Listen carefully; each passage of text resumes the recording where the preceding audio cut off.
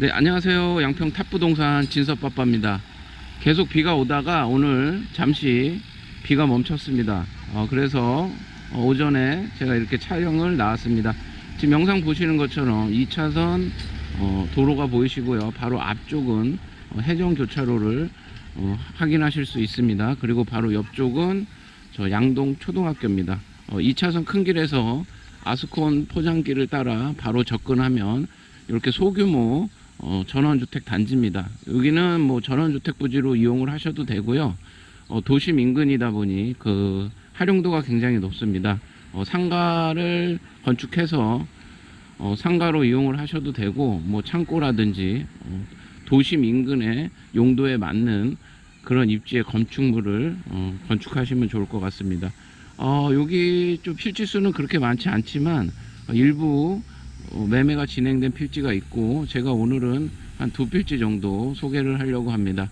지금 영상 보이는 입구 쪽에 위치한 이 토지입니다. 어, 직사각형 직사각형 형태로 어, 잘 생긴 토지입니다. 이렇게 네모 반듯하게 직사각형으로 생겼습니다. 이렇게 도로를 따라서 이렇게 가게 되면 저기 컨테이너가 놓여 있는 이 토지입니다. 이렇게 직사각형 형태로 되어 있고 우선 이 토지의 장점은 어, 입지, 그러니까 도심 인근의 토지로 보시면 되고요.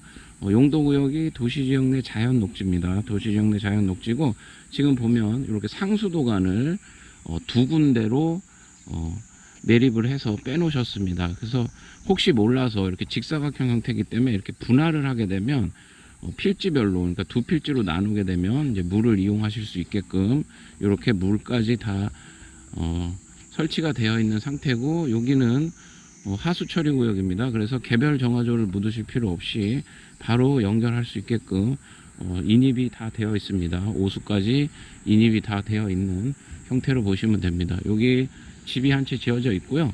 저 끝쪽부터 어, 조성이 되어 있는 단지로 보시면 됩니다.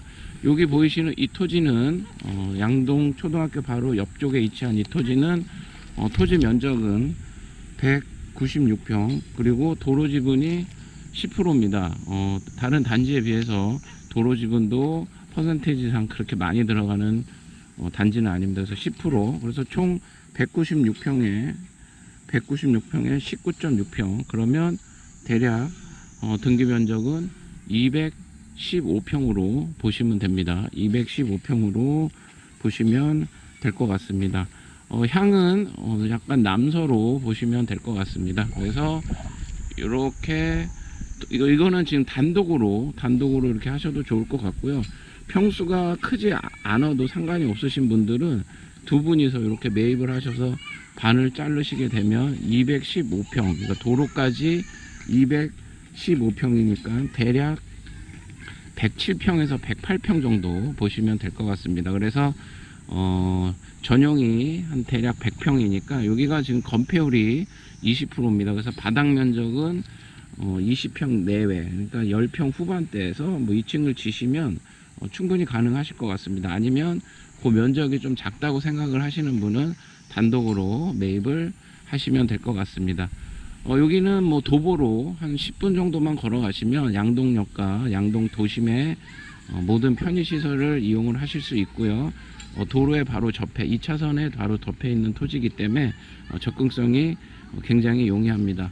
이 토지는 지금 평당 80에 의뢰가 되었습니다. 그래서 매매가는 1억 7,200입니다. 그래서 어, 양동 쪽에 양동 쪽에 아니면 도심 인근에 어, 도심 인근에 토지를 찾으시는 분에게 어, 제가 추천을 드립니다.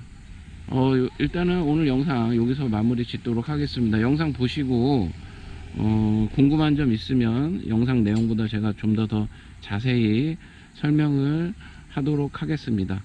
어, 215평 평당 80이고 양동명 석공리입니다. 어, 양동 도심에 위치한 토지고 기반 시설이 완비가 되어 있습니다. 어, 바로 매입을 하셔서 허가 놓으시고 진행하시면 됩니다. 오늘 영상은 여기까지 하도록 하겠습니다. 감사합니다. 진섭빠빠였습니다.